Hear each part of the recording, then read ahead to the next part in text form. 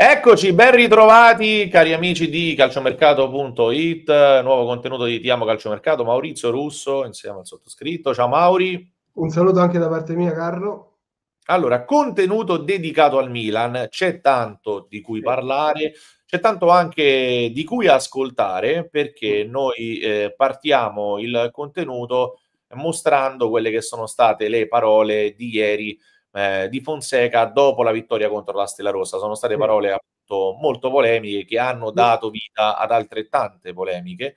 Le mostriamo e poi andiamo appunto a fare il, il punto della situazione. Passatemi il, il, gioco di parole. Eccolo qua, Fonseca, ascoltiamo. Può essere molto diretto e schietto tra lei e la squadra. Eh, come si può venire fuori da questa strategia, da questa storia? Cioè, eh, arrivare al muro contro muro usare una strategia diversa, più bastone, più carota, com'è, com'è la situazione adesso? Cosa hai intenzione di fare?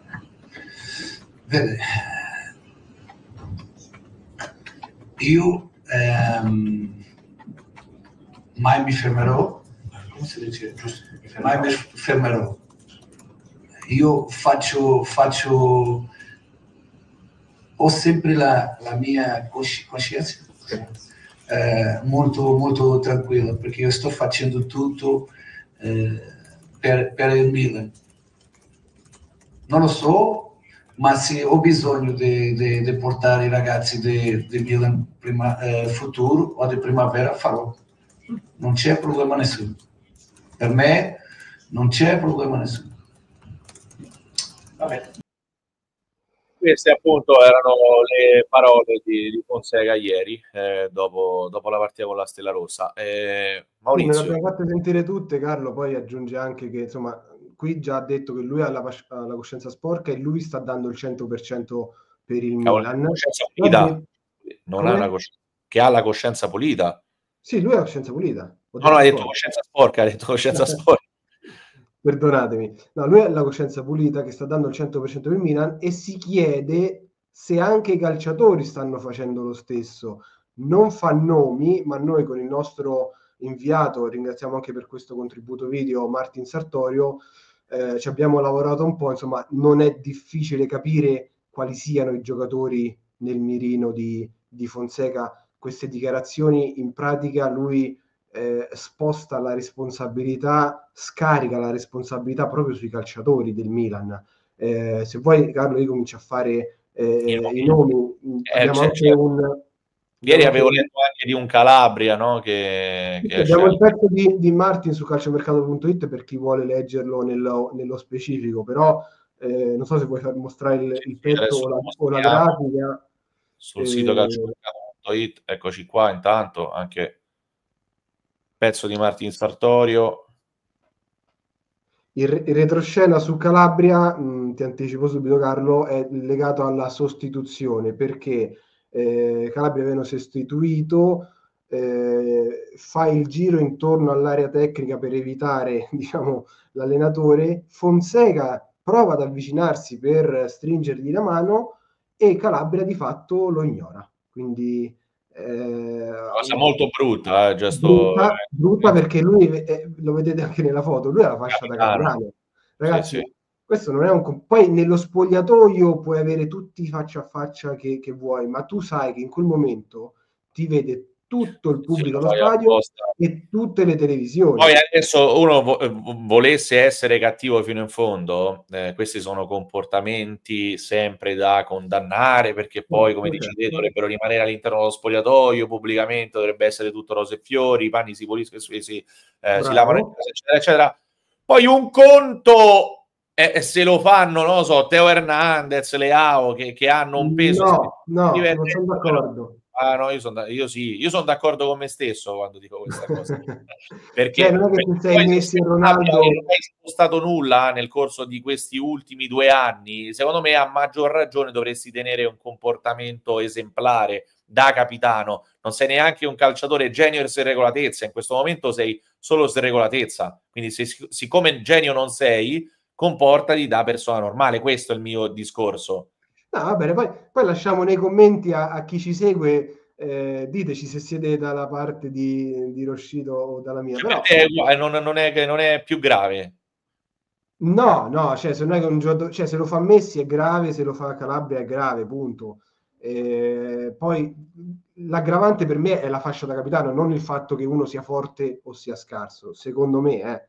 Eh, però sì, no, vabbè, è vero, eh, magari nasce il dibattito tra i commenti, eh, cioè chi è d'accordo con me, chi è d'accordo con te. Per me, se sei un calciatore normalissimo, a, a, maggior ragione ti devi comportare come un calciatore normalissimo, senza alzare la testa. Questa era la grafica che mi chiedevi poco fa, Bersaglio-Milan, cioè eh, questo, questo, Fonseca pronto alla caccia, nel Milan ci sono quattro, quattro calciatori e, e anche qui ci sono calciatori appunto forti, fortissimi, calciatori normali, calciatori che stanno deludendo. Quindi parola a te, caro, caro Maurizio. Sì, allora, nel mirino abbiamo messo Calabria, non solo per la prestazione e la sostituzione di ieri, ma già contro lo Slovan Bratislava eh, Fonseca non aveva fatto nomi, ma aveva fatto capire che era stato molto deluso dalla prestazione del terzino e capiano del Milan, che di fatto ormai ha perso anche il posto titolare in favore di Emerson Royal, insomma lo sta facendo giocare nelle partite sulla carta più facili e lui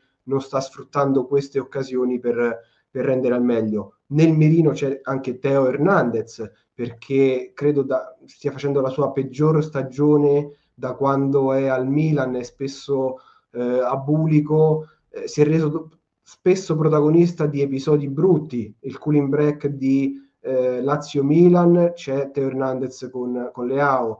Eh, il caso dei rigori in Fiorentina-Milan è Teo che si prende il pallone e decide di battere lui il rigore. In più, ripeto, sta avendo un rendimento al di sotto delle aspettative e quindi ci sta che sia uno dei giocatori nel mirino. Un altro è Loftus Cheek, l'anno scorso era titolare inamovibile con Pioli, quest'anno di fatto è diventato una riserva con, con Fonseca, quindi eh, anche lui è spesso svogliato nei comportamenti sia eh, in allenamento che in partita e questo Fonseca eh, lo ha notato. Abbiamo messo anche Okafor, eh, voi direte perché, scusa, ieri era ehm, indisponibile, era infortunato, è proprio questo, questo, questo infortunio, diciamo, che Fonseca si aspettava che avrebbe stretto i denti eh, per giocare, invece diciamo, ha messo, tra virgolette, eh, la scusa dell'infortunio per chiamarsi fuori non è piaciuto questo atteggiamento, cioè lui vuole che i giocatori diano il 100% per il Milan, che siano disposti anche a giocare sul, sul dolore pur di eh, dare il massimo e invece c'è qualcuno insomma che ne,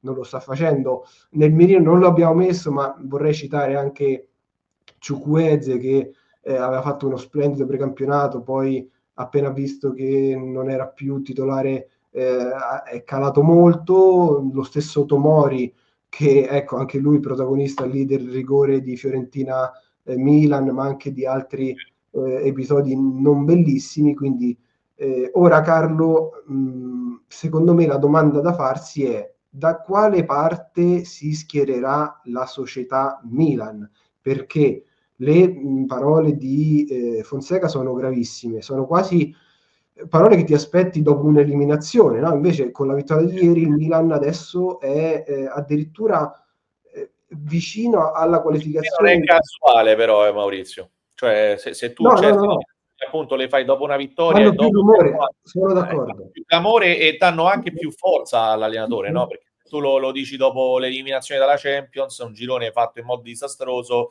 allora può sembrare un alibi. Se tu lo dici dopo quattro vittorie consecutive in Europa, per carità, contro non avversarie clamorose, a parte la trasferta di Madrid, ehm, riesci ad avere un tono più deciso, più perentorio, diventi più credibile anche agli assolutamente, occhi assolutamente uno le palle, tra virgolette, no? non riesci, non sei uno scarica responsabilità, ma sei uno appunto che sta alzando la voce nel momento giusto.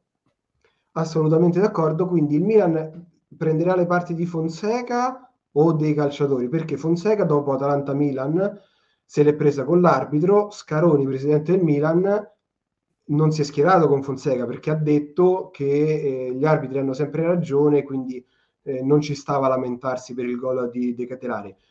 È chiaro che se ti schieri con Fonseca eh, gli dai eh, maggior peso nello spogliatoio e metti i giocatori davvero davanti alle proprie responsabilità. se ti schieri con i giocatori, di fatto stai esonerando Fonseca. Eh, eh sì, perché adesso veramente la frattura sembra insanabile. Allora, mostro eh, a sì. proposito di Milan, perché qui parliamo di un ex Milan, un sondaggio che abbiamo pubblicato sul profilo X di calciomercato.it relativo appunto Tonali.